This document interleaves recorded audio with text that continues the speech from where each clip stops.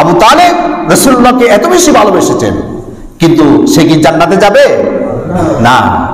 কারণ রসুলকে ভালোবাসলে হবে না। রসুলের আদর্শ মেনে নেওয়ার নাম হচ্ছে ইসলাম, ঠিক কিনা বলেন?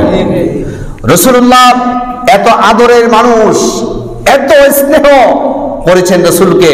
আবু ব্যাপারে রসুল্লাহ কি বলছেন? রসুল্লাহ হাদিস থেকে শুনুন। সহিহ মুসলিম শরীফের হাদিস হাদিস নাম্বার চারশত তিন عن عبد الله بن عباس رضي الله تعالى عنه قال قال رسول الله صلى الله عليه وسلم أهون أهل النار عذابا أبو طالب وهو ينتعل بنعلين يغلي منهما دماغه নবী করিম সাল্লাল্লাহু আলাইহি সাল্লাম বলছেন আমার চাচা আবু তালেব সেই জান্নাতে কখনো যেতে পারবে না তাকে জাহান্নামে চিরকাল পর্যন্ত থাকতে হবে আর জাহান্নামে যত শাস্তি হবে, সবচাইতে কম শাস্তি হবে আমার চাচা আবু তালেবের। আহওয়ান ওয়াহালিন নারি আযাবান আবু তালেব। আবু তালেবের সবচাইতে ছোট শাস্তি হবে। ছোট শাস্তিটা কি? ওহয়ান তাইলু বিনা আলাইনি ইয়াগলি মিনহুমা দিমাগুহু। জাহান্নামের আগুন দিয়ে দুইটা স্যান্ডেল বানিয়ে দেওয়া হবে।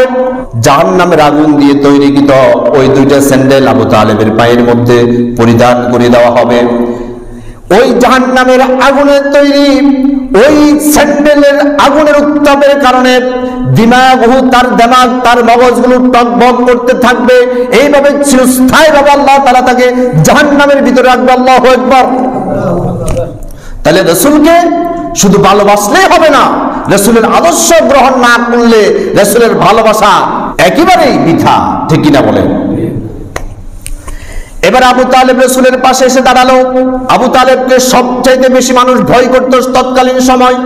রসুলকে কেউ আর নির্যাতন করার জন্য বা হুমকি দামকি দেওয়ার জন্য কেউ সাহস করে না, কারণ আবু তালেব রসুলের পক্ষে আছে। ছয় মাস যেতে না যেতে আবু তালেব ইন্তেকাল করল।